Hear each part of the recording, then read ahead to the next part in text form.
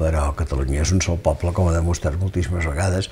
L'economista i expresident de Justícia i Pau, Arcadi Oliveres, ha mort aquest dimarts als 75 anys, segons ha confirmat la seva família al web creat per acomiadar-se d'ell. Defensor de la teoria econòmica del creixement i autor de nombroses obres de divulgació sobre les relacions entre nord i sud, el comerç internacional, el deute extern o l'economia de defensa, Oliveres havia col·laborat amb diferents moviments socials cristians.